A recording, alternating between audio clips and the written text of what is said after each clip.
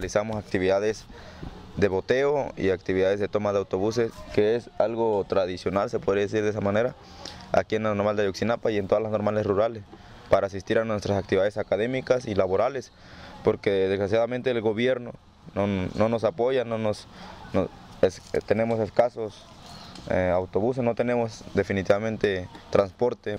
Eh, la forma de tomar autobuses no es una forma con papeleos, con, con escritos, ¿no? sino en una forma apalabreada con las empresas y con los choferes a que nos apoyen, nos, nos brinden el apoyo eh, para hacer nuestras actividades.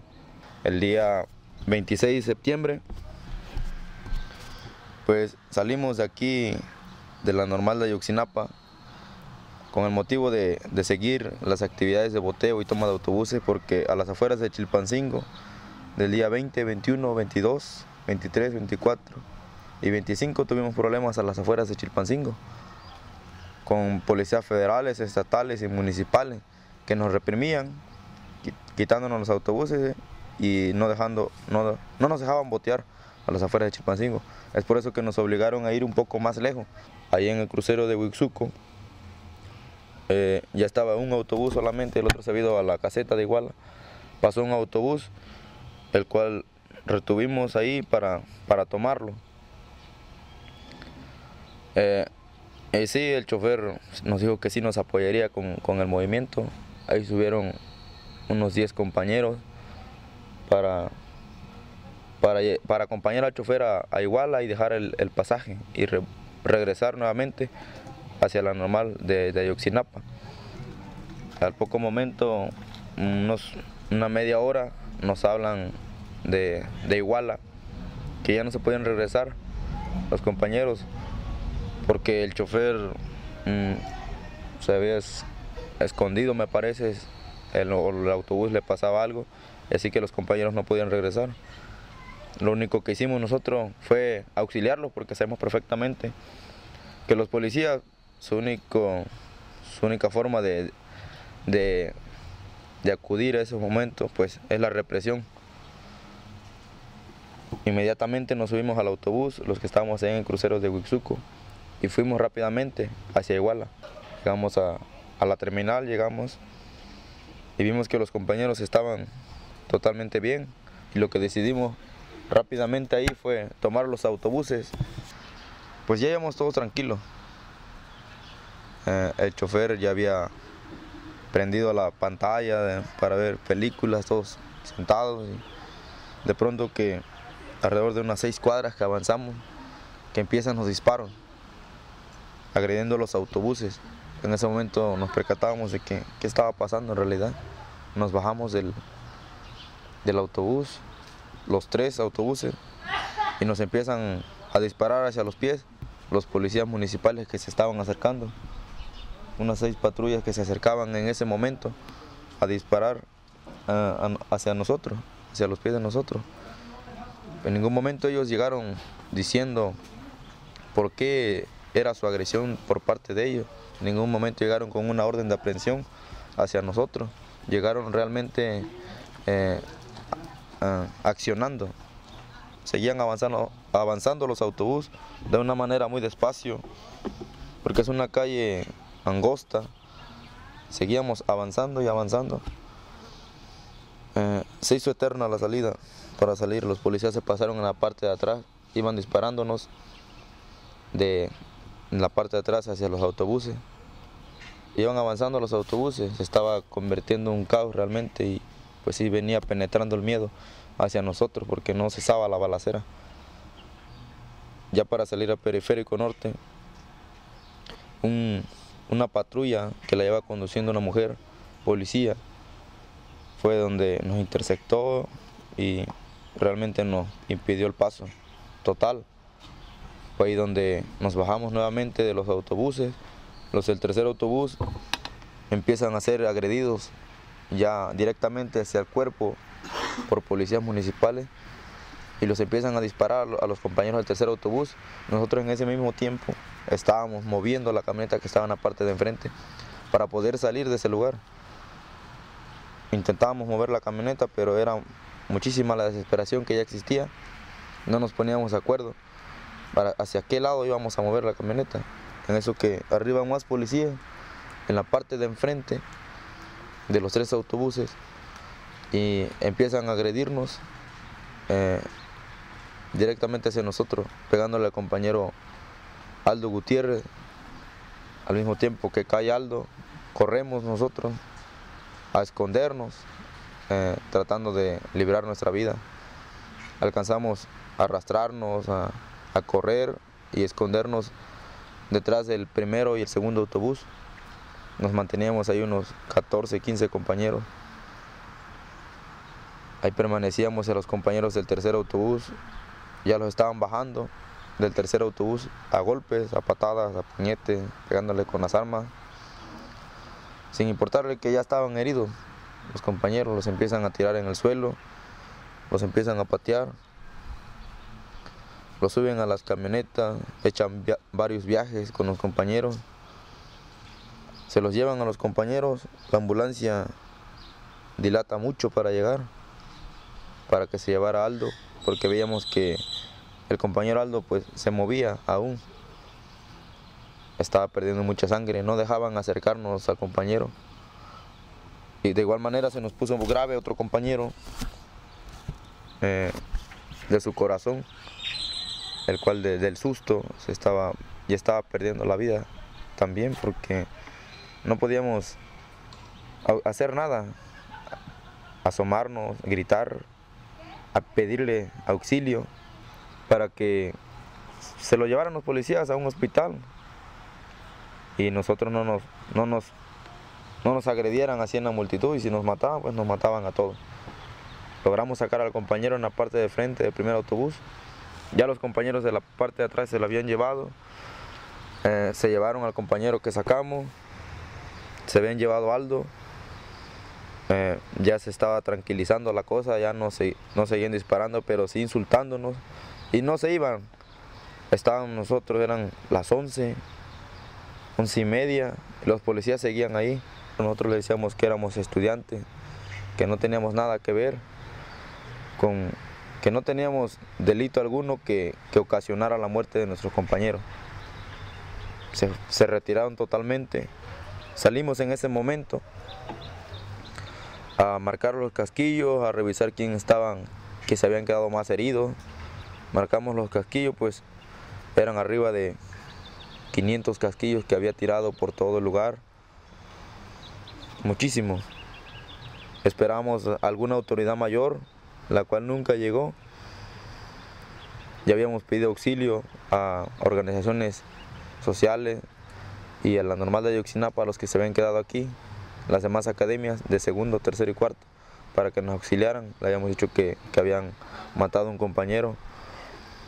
Y rápidamente, como, como a las 12, que estaban llegando ya los medios de comunicación, estaba llegando la normal de Oxinapa, organizaciones sociales, estaba en ese momento una rueda de prensa, cuando nuevamente empieza a agredirnos. Pues en ese momento no supuse que eran policías estatales y municipales porque habían pasado hacia el lado norte, cuando empiezan a agredirnos, que caen al momento dos compañeros muertos, instantáneos, a un compañero que le destrozan la boca, a un compañero que le quitan dos dedos y decenas de heridos que hubo en ese momento. Lo que hice fue correr, tratándome de esconder, porque ya era muchísimo el miedo que, que existía, nosotros sin podernos defender. En ese momento que logro esconderme, corro alrededor de dos cuadras logro. Me, eh, entré a un callejón y dije, pues aquí ya me mataron. Lo que hice pues fue permanecer ahí, ya salí alrededor de las 3 de la mañana, al lugar de los hechos, y miré que ya estaban los compañeros muertos ahí en ese lugar, y los heridos estaban atendiéndolos en el hospital, en el cual allá en el hospital fue donde llegaron militares a agredir a los compañeros que estaban atendiendo o que estaban auxiliando a los compañeros que habían sido heridos de bala. Llegan, los militares y dicen que, que nosotros no lo habíamos buscado, que nosotros si nos queríamos poner con hombrecitos, ahí estaban las consecuencias. Nosotros le decíamos que éramos estudiantes de Ayuxinapa y aún así no, no hacían caso alguno. No querían atender a nuestros compañeros, nos estaban pegando a la pared. Y hasta las 5 de la mañana nos fuimos a la Procuraduría sin darnos cuenta ya que también los policías ministeriales habían participado de esos hechos. Estando en, el ministerio, declarando, haciendo declaraciones, nos avisan que, un cuerpo está abandonado en, en una calle que está muerto.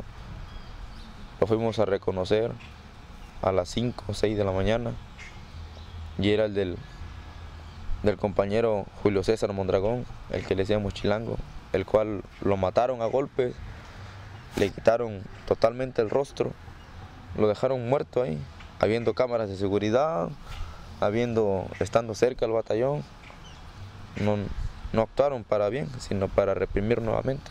No aparecen los compañeros, los empiezan, los empezamos a buscar en comandancias, en cárceles pero en ningún momento teníamos respuesta de ellos.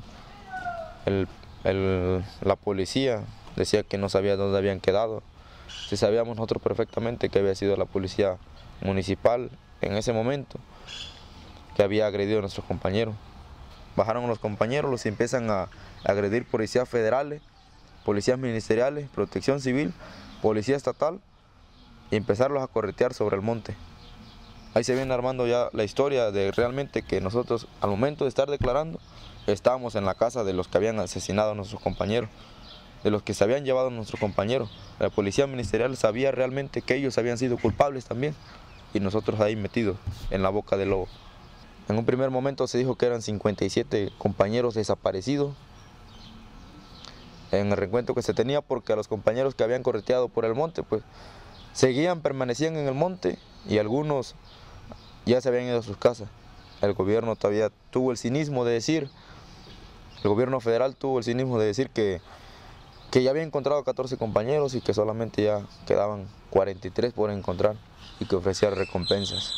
José Luis Abarca, el presidente de, de Iguala, el alcalde de Iguala, en conjunto con su mujer, dijeron que, que nosotros íbamos a hacer un boicot a su fiesta que estaba donde la mujer de José Luis Abarca se estaba promocionando para candidata a presidenta municipal, donde realmente nosotros no, no íbamos a hacer un boicot, sino íbamos al crucero de Huixuco, pero por problemas internos logramos llegar a, Iguala. El alcalde de Iguala pide una licencia, el alcalde de Iguala huye en conjunto con su mujer, se hacen líneas de investigación y se, dice que también la policía de Cocula participó en, los hechos ocurridos. Se, en esa semana de, tormento, de manifestación, de nuestra inconformidad, de que no aparecían nuestros compañeros, la desesperación entra día tras día más grande y más grande y viene aumentando. Pues investigaciones científicas pues le dan la vuelta, que no son los compañeros normalistas, sino que son otras personas.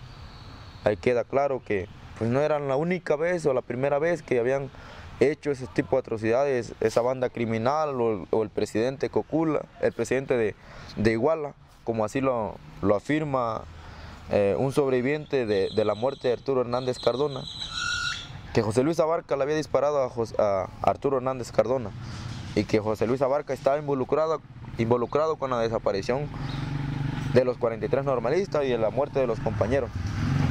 El Estado había cometido ahora sí que un delito de lesa humanidad en el cual no lo quería aceptar y tardamos un mes para que el gobierno federal atendiera nuestro caso.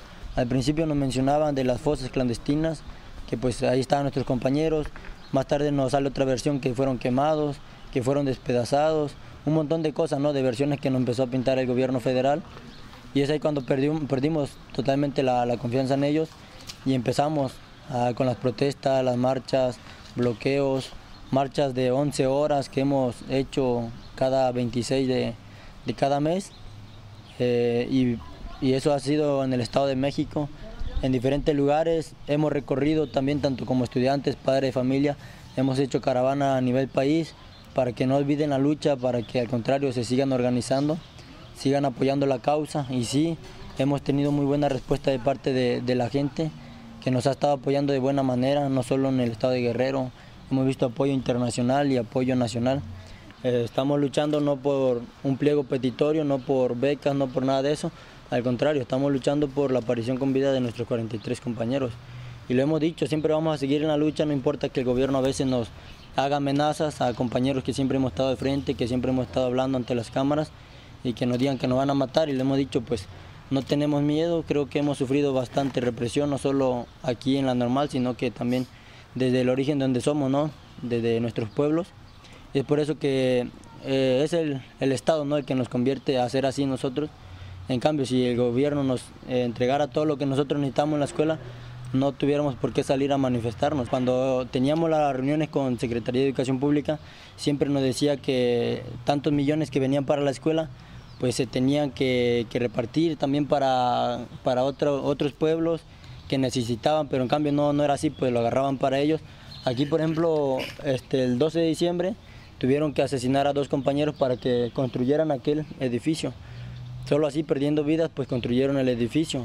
Eh, cuando a, los comunitarios que les, los quieren desarmar, nosotros ahí estamos apoyando. Cuando a los indígenas les quieren despojar la tierra, ahí estamos. Cuando a la gente de aquí de Tisla también que le quieren quitar las tierras, pues ahí estamos apoyando. ¿no? En toda lucha social siempre hemos estado con el, con el campesino, con el proletariado. Le hacemos un llamado a toda la población en general que se solidarice, que, que este movimiento pueda hacer un cambio y que exijamos a nuestros compañeros con vida, no esperemos hacer el siguiente.